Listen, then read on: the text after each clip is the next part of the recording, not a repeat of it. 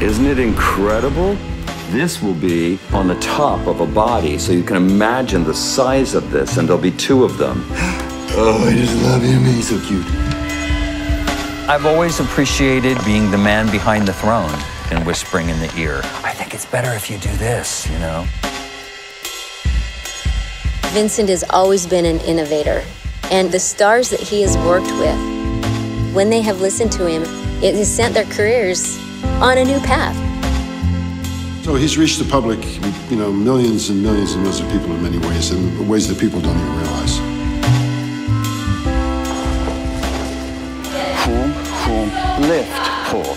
Boom, boom, lift, pull. I got a lot of books up here, and they're all divided.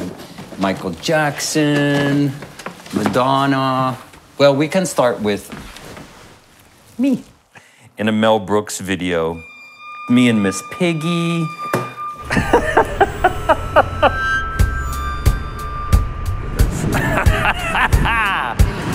yeah, guys. sick. Just sick. Just sick. One of the things about Vincent is, in a way, he's a really well kept secret. He has not ever engaged a publicist. There are some people that are, are going after the celebrity. Vincent has, has never cared about that. He's really always Never. been about the work.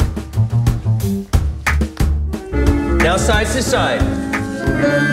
Other people can sing. Whiskers on. Well, well, well, it's. This is Selma.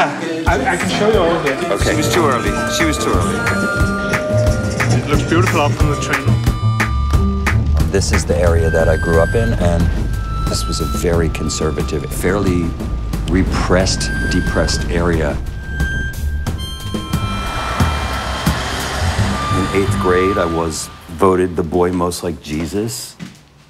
I would kneel at the at the altar railing in the church, and I would pray, "Dear Lord, just just pick me up a half inch, just a half inch off the ground," because I thought, "Oh my gosh, if I was like a miracle happened, and I was the miracle."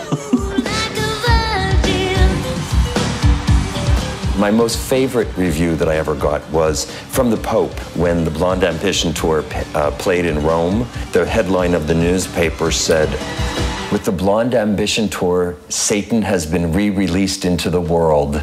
And I thought, oh my God, I did that?